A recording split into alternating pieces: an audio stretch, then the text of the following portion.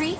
This is our friend Blackie here. His ID number is A4802336. He is a Chihuahua, as you can see, and a very handsome one at that. We think he's about four years old, and he actually came in as an owner surrender on February 20, 21st from Rosemead, weighing 13 pounds.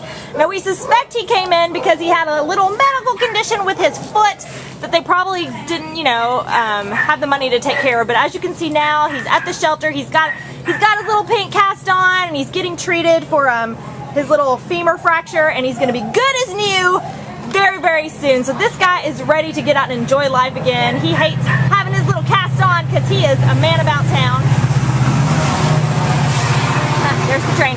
He's super smart, very alert, very curious um, little guy, and he's ready, you know, to get back on his leash, run around and check things out and smell things, um, and just have the fun and be the fun little guy that he is. He's got a good medium energy level. We think he's good with other dogs, and we think he's going to be a fantastic little guy to have as a family pet. He'd be really fun with children, just running around and playing, um, and just being the fun little guy that Blackie is. So if you're interested in our little guy Blackie, and we hope you are, come on down to the Baldwin Park Shelter today and meet him, and you can take him home to be part of your family. Bye bye, Blackie. We know you're going to be better soon. Bye bye, cute boy.